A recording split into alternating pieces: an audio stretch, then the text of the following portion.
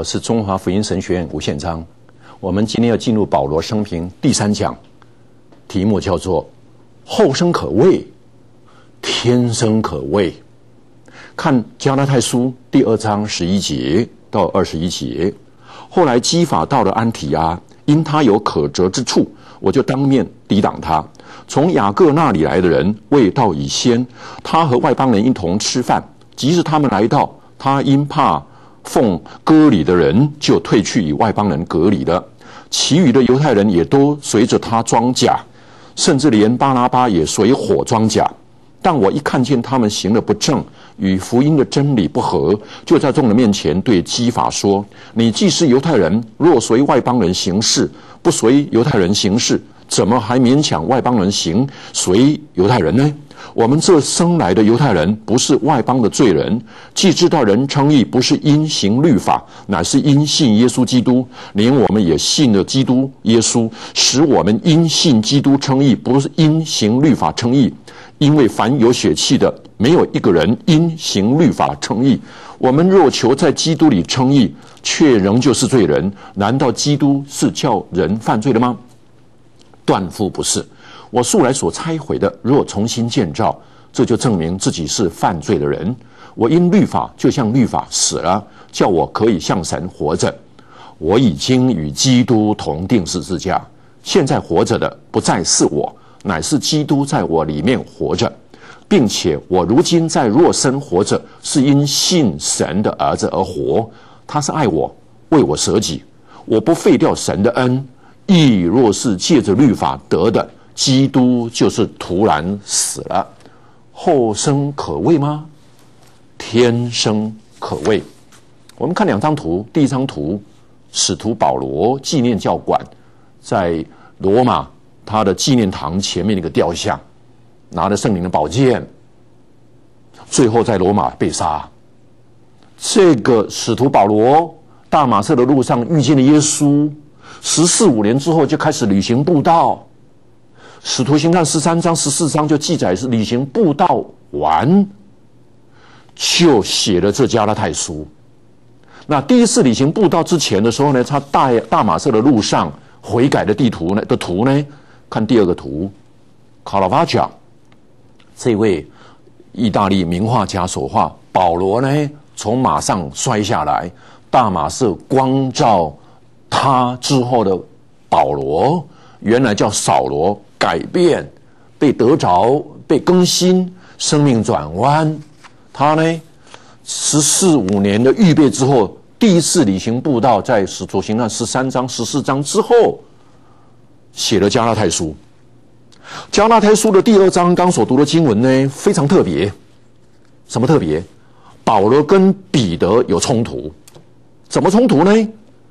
彼得跟外邦人在一起的时候，因为犹太人进来，彼得怕犹太人缘故，装甲就离开。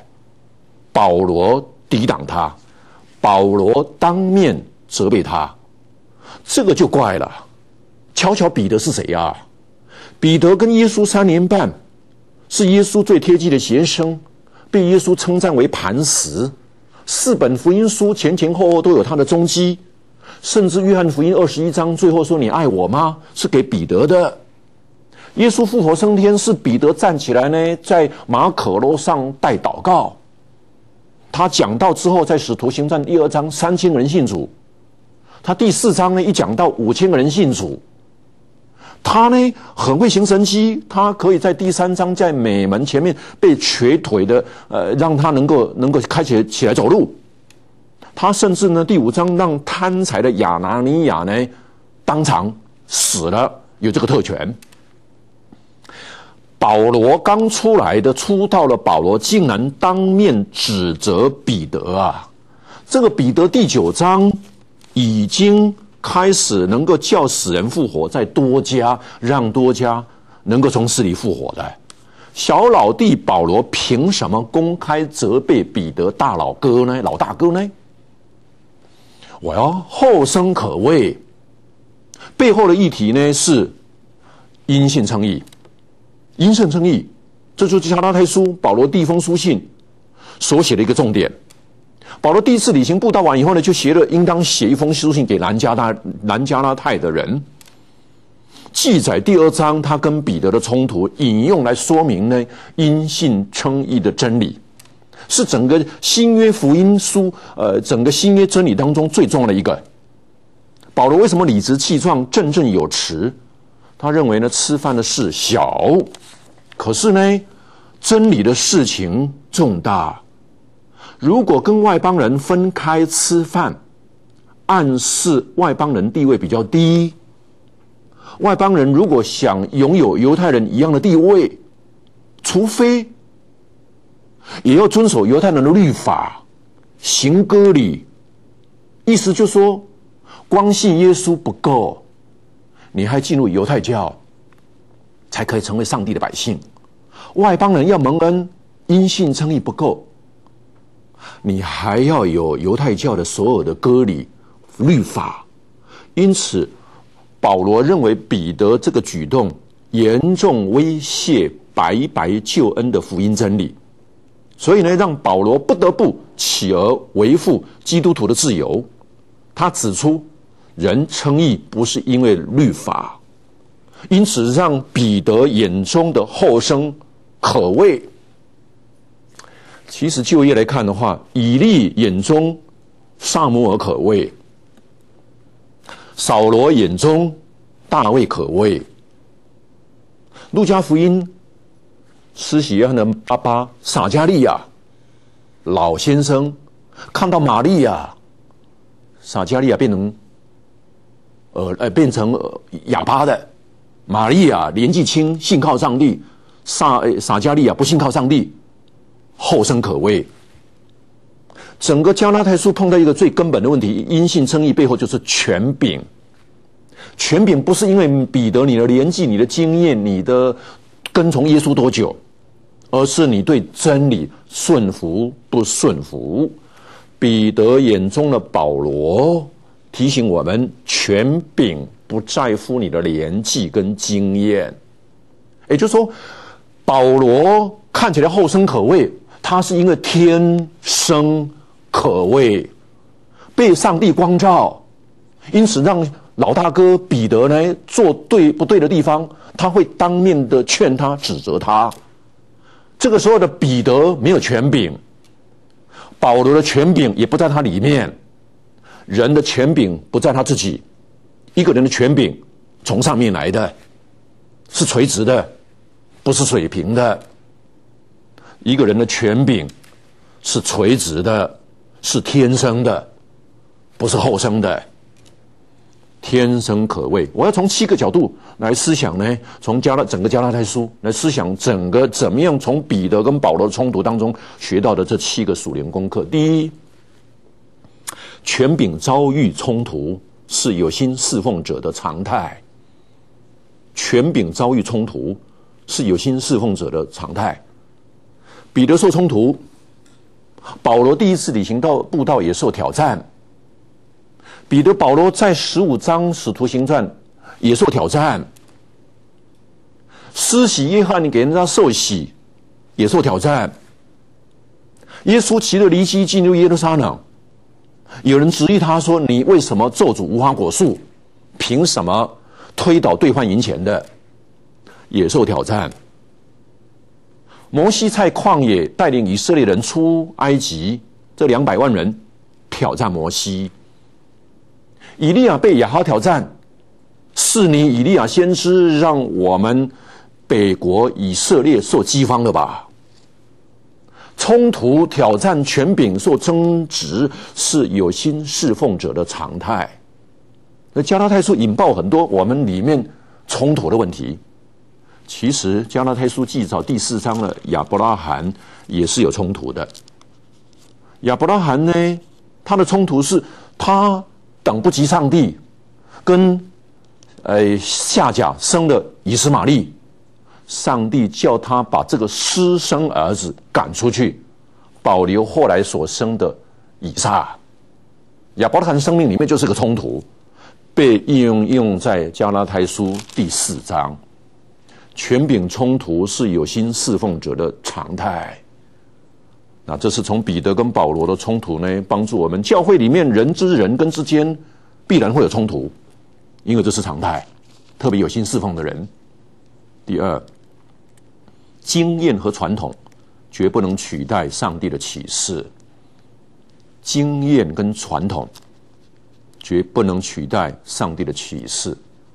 彼得很多经验，三年半跟耶稣，初代教会第一章到第十章，他是磐石，在使徒行传里面他是磐石。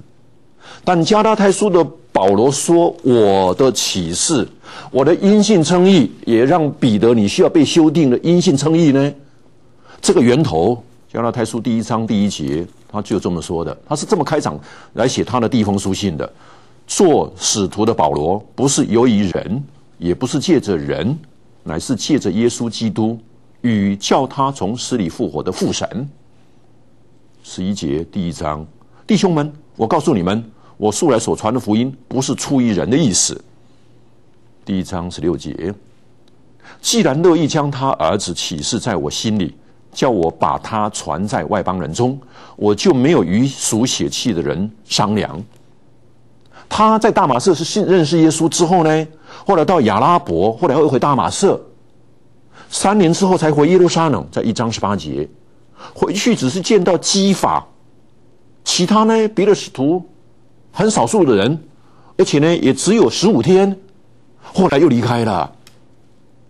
十四年信主之后十四年。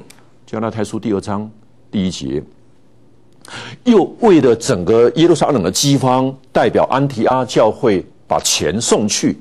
他带着提多，第二次在信主之后，第二次去耶路撒冷，去以后呢，其实也很短，去了以后很短。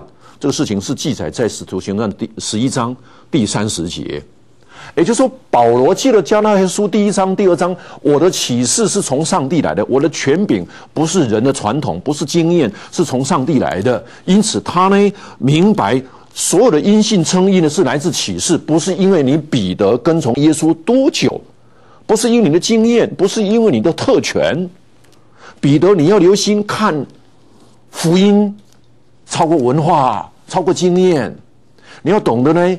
你不要怕犹太人，怕超过呢？怕得罪上帝。彼得，你要看上帝神情超过人情。彼得，你要看神超过人。华人来说呢，你更要留意，你要看神国超过人国，不要让救国主义超过为神的缘故传福音。你要为了福音呢，把经验、把传统、把种族。把人间的遗传放在一旁，经验跟传统绝不能取代上帝的启示。摩西是曾经用他的杖红海分开的，不过你是读约书亚记就发现那个杖经验没有被带进约书亚记里面。耶稣要记的经验不一定是摩西的经验，一样的神用不同的人，因此你的经验跟传承绝不能去。虽然我们知道呢，主里面我们应当敬畏长者，但是当传统经跟你所讲的东西有跟启示有冲突的时候，所有的传统经验靠边站。这就是第二章加拉太书的重点：经验和传统绝不能取代上帝的启示。第三。权柄浮显在水平的生命跟垂直接轨。权柄浮显在水平的生命跟垂直接轨。保罗的权柄是因为二章二十节非常有名的宣告：“我已经与基督同定十字架，现在活着不再是我，是基督在我里面活着。因为我是耶稣在里面活着。”他第四章呢第五节说：“这种人。”第六节。你们既为儿子，神就差他儿子的灵进入你们的心，呼叫阿巴，圣灵感动你称呼天父为阿巴。这种有圣灵、有上帝的救恩，就有特权、特权人物。原来一个人的权威不在乎你的教育，虽然那些重要，也不在乎你的外貌，不在乎你的身材。一个人的特权不在乎你的附属品。我跟耶稣三年半，不，虽然那些都重要，不在乎你的附属品 belonging，不在乎你的行为 doing，只在乎你的所事，垂直跟上帝的关系 being。我与基督同定十字架，现在活着不再是我，有那个特权呢。保罗第一次履行布道，可以让行法术的一驴马成为瞎子。有那个特权呢，可以在比呃比西底的安提阿讲道；有那个特权呢，他可以在路斯德医好一个瘸腿的。有这样的特权呢，保罗呢，后来呢，在使徒行传二十六章对亚基帕王说呢：“我没有违背天上来的意象。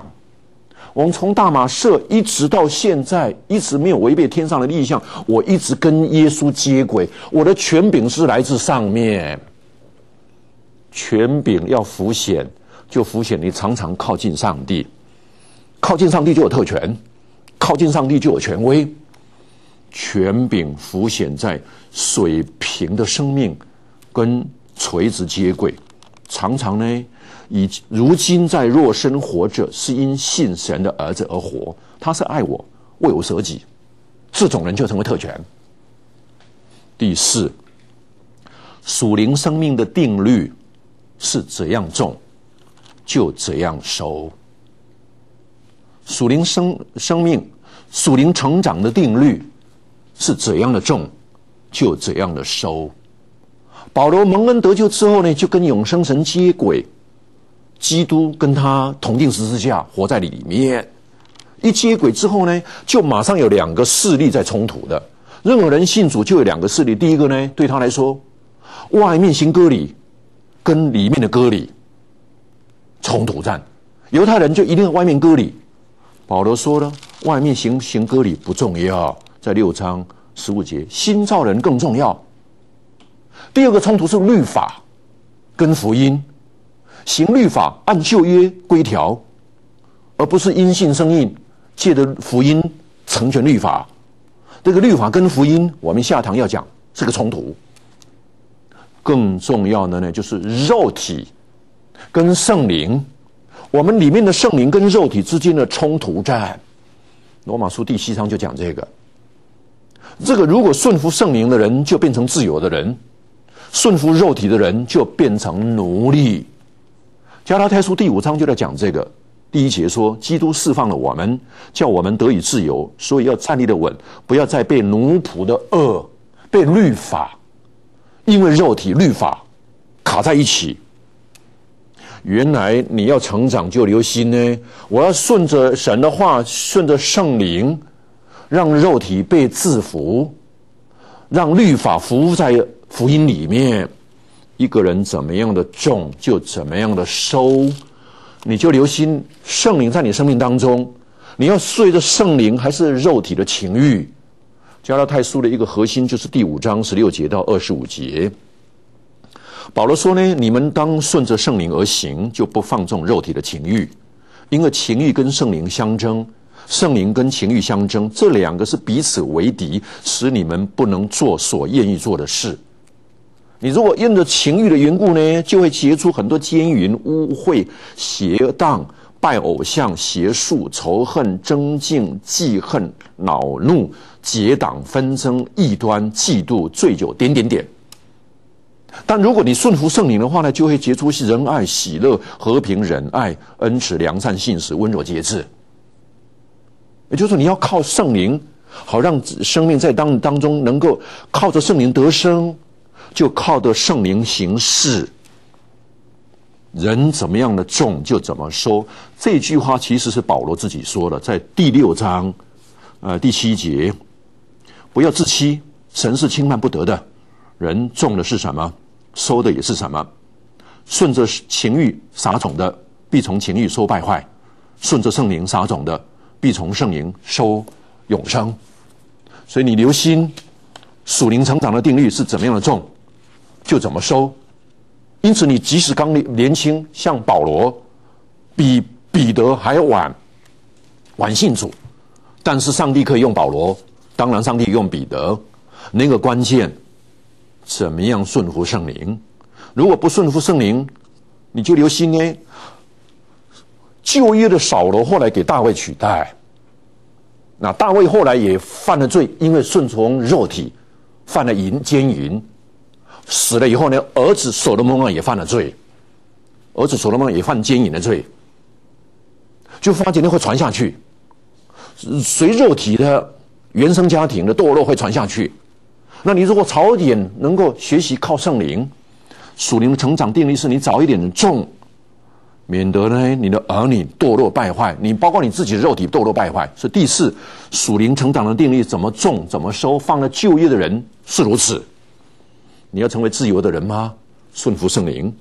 你要成为奴仆吗？行割礼喽，靠律法喽，靠肉体喽。第五，历史的教训是人不接受历史的教训。历史的教训是人不接受历史的教训。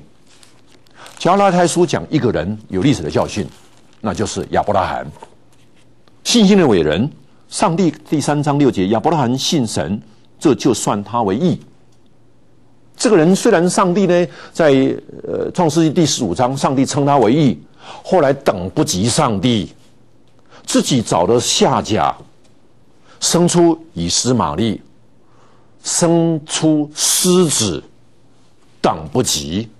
肉体成全律法，肉体要成全上帝的应许，因此第四章、第三章加拉太书就用亚伯拉罕等不及肉体，想办法生出来来冲突，帮助我们了解呢。求主帮助你，你要靠上帝的圣灵，从亚伯拉罕的教训学到功课，不要凭肉体生出的以斯玛利。上帝在第四章叫亚伯拉罕呢，把他赶出去。许多神的儿女啊，其实都是生私生子一般的而已，奴仆私生子，已经是神的儿子了，活的呢却是私生子，被律法、被种种的习惯、被肉体绑住，没有从过去学功课。亚伯拉罕的功课呢，往往等不及的功课，我们不能顺服圣灵。的这种功课呢，就刚刚所说的，大卫犯了奸淫的罪，儿子所罗门也犯了奸淫的罪，而且他妈妈就是八十八，就是大卫犯奸淫的那个对象，哥哥老大死了，爸爸也悔改了，不能影响所罗门王，也不要不跳入奸淫的罪里面，没有从过去学功课，亚伯拉罕凭肉体。后来，上帝让他到不会生孩子，太太月经都断了再生孩子，提醒我们，上帝有办法的。历史的教训呢？你留心，你要接受历史的教训。第四、第六，焦点迷糊，往往是源自定睛别人的跑道。焦点迷糊，往往是定睛别人的跑道。彼得，上帝在加拉太书第二章第七节说。上帝托付我传福音给未受割礼的，要彼得传福音给受割礼的。我是传福音给外邦，彼得是传福音给犹太人。彼得当然没有是因为这个原因，但是他因为外犹太的缘故呢，跟外邦人就隔离出来。或许会不会有点嫉妒？为什么比保罗被上帝用？你不愿意专心跑你的跑道，你一迷糊焦点。因此呢，会不会因此就离开真理？这个情况呢，彼得不是没有经验的。加利利海边，当他看到耶稣走过来，他也走过去，去看其他地方，掉下，快掉下海里面去。约翰福音二十一章，你爱我吗？耶稣让他殉道，却转手去看约翰。你不要离开你的焦点。上帝让保罗有他的跑道，你有你的跑道。当每一个人跑道不一样，你就走上帝的跑道。你一迷糊的时候呢，定睛别人的跑道，你就发觉后生可畏。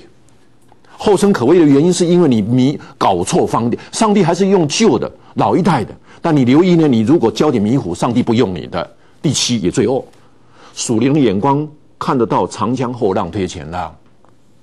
属灵的眼光看到长江后浪推前浪。彼得没有嫉妒保罗，当面指责他后生可畏。他在彼得后书第三章十四到十六节说：“你们要听保罗的话。”彼得成全保罗，鼓励保罗，没有因为后生可畏，因此责备保罗。他呢，鼓励成全保罗，因此向长辈留心要属灵眼光，要看到长江后浪推前浪，每一个下一代，上帝所带的保罗都可以被上帝用。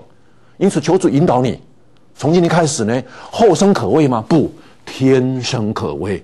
跟从主，一同祷告。亲爱的主，帮助我们年纪轻的肯定主、仰望主、抓住主的同在，也帮助我们年纪大的不要排挤下一代。知道后生可畏的原因，是因为天生可畏。每一位仰望主的人都可以被上帝预备，长江后浪可以推前浪。奉耶稣基督得胜的名祷告，阿门。愿上帝祝福您平安，再见。